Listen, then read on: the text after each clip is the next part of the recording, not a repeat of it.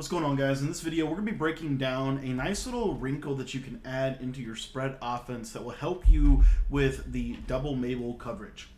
Uh, what's up guys, my name is Cody. Now if you're new to the channel and you don't know what my channel is all about, my channel is all about helping people become the best Madden player that they can possibly become. And so if you're looking to get better at this game, I just want to encourage you to click the subscribe button at the bottom of the screen. It's completely free to subscribe to the channel and it just allows you to be able to stay up to date with the latest tips and strategies right here on the channel.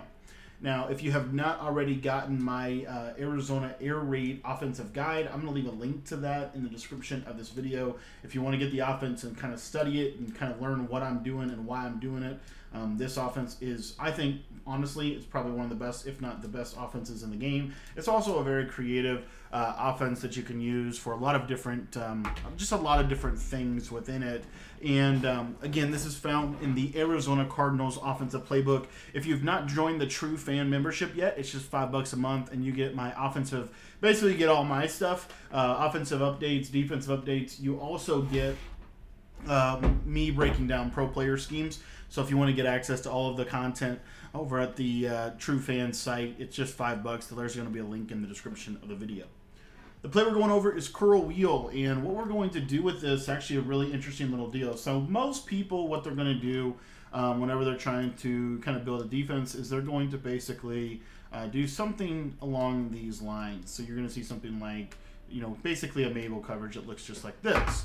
Well, what I like to do, uh, the normal time, normally the way we set this up is we do this uh, basically like a mesh post setup where you see here we're just going to use these double wheels. And the cool part about this is you can hit your, you know, your little underneath routes and things like that.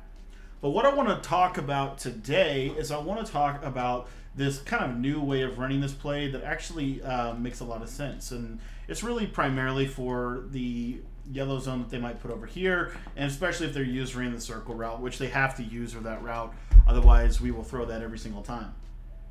So what we're going to do is we're just going to simply hitch uh, the X receiver, and we're going to put the running back on an in route. This is a really simple route combination. What's really cool about it is this little curl route is really good against Mable coverage. Like it's one of the best routes in the game against Mable coverage. Now, one little thing that you can do to make this even better is you can go ahead and simply uh, take your uh, take your slot receiver or take your curl route on this play and just simply smart route him. So you see it looks basically like this right here. Now, if you look to the right or to the left again, you're going to see this curl route's going to go a little bit shallower.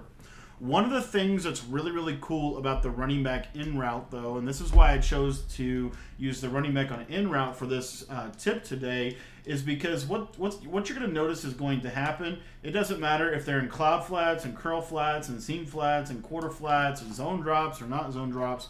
It really doesn't matter. But what's going to simply happen is you're going to see that they are going to basically match this wheel route on the left side of the screen, which is going to basically open up a nice little pocket. If they don't match the wheel route, that's fine. We can just take the curl. Um, if they do match the wheel route, which is more likely, um, then you're going to see. Now, sometimes um, it is a little finicky. That's where I would say, you know, with this specific play, it does make a little bit more sense to be on the right side of the, the field uh, as opposed to the left side. Let me show you that again. So again, these are if they use the curl flat zones, which I think most people are using curl flat zones at this point in the year, um, just because they're better for defending the flats. But you're going to see, again, here's our combination. We got this nice little concept here.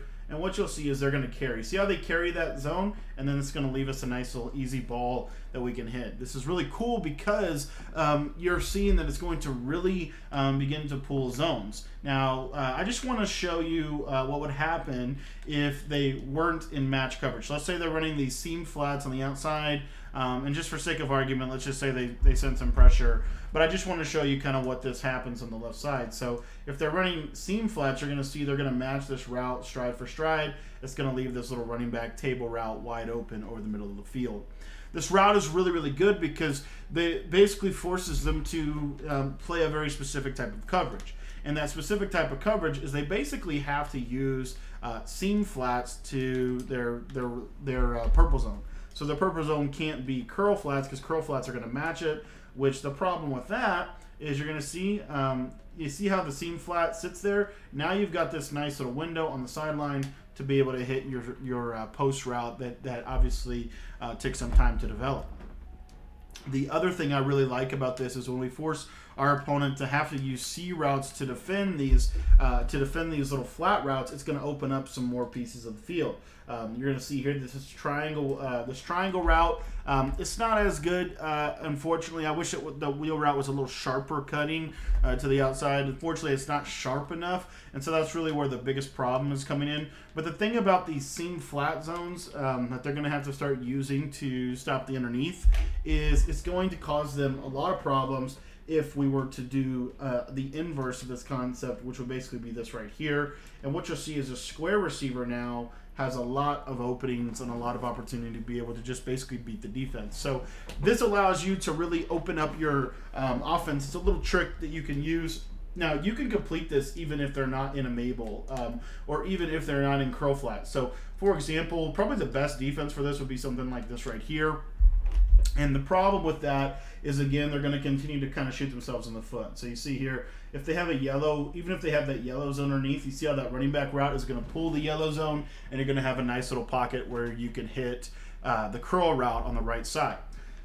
So there's really no surefire way to defend this. I haven't talked about this as far as it pertains to man coverage, but one of the things that a lot of people will do whenever they play man coverage is they'll man up the lineman out of three through five wide on the running back the cool part that this creates for this offense is you're going to see you're going to get a nice little mis- mismatch. I mean, it's just he's got easy inside leverage, and as you're going to see, you're going to be able to easily beat that coverage uh, to the inside. The other thing that I want to just really quickly hit on, especially with like shaded down man-to-man coverage, is when you smart route this curl route to the square receiver, you're going to see this natural little inside position, and you can basically throw a little low ball and catch the ball really easily. This curl wheel play is great for many, many reasons. It's a very versatile play. And if you want to learn my entire Arizona air raid spread offense, this is the offense that I'm going to be starting Madden 22 with. I think it's going to be the best offense next year. So if you want to get my entire air raid offensive guide, um, just be sure to sign up for the True Fan membership down in the description for just five bucks, and you'll get all of the updates to this over the summer as we bring them out.